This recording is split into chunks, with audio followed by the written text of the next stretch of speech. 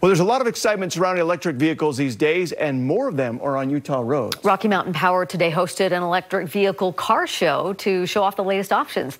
As news specialist Jed Boal shows us, EVs are changing and becoming a choice for more drivers. It's National Drive Electric Week.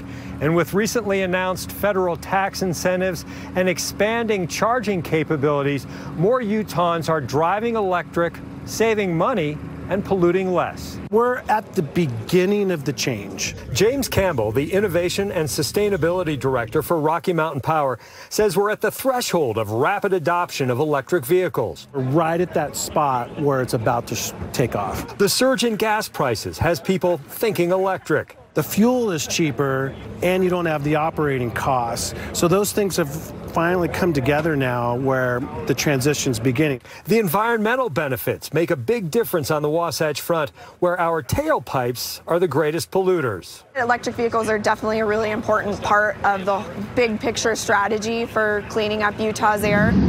But it's the performance and expanded capabilities that are catching the consumer's attention. Part of that buzz is the fact that the technology is finally there.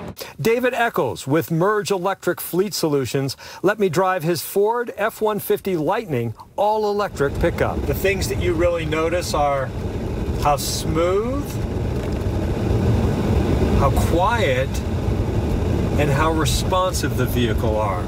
An $80,000 electric truck for a person who wants a real truck with four-wheel drive. It hits all of the marks that people are looking for in a truck. On a quiet road with no traffic, we tested the acceleration. Wow. If that doesn't put a smile on your face, I don't know. You might yeah. well, check we your didn't pulse. want to break any laws out here, but we went from zero to 60 about as quick as you can go in a truck this size. The speed of a sports car with the functionality of a pickup. That's really great for construction workers and, and job sites and even, you know, how it's running the power on these um, food trucks here right now.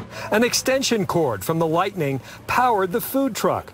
Enough power for a work site or a campsite without polluting the air. Before you had maybe a more environmentally conscious person who would look for an EV, where now it's kind of shifted to more of a performance and cost. Next spring, Rocky Mountain Power is working with UDOT to install 20 charging stations around the state so that all of those electric drivers can have better range.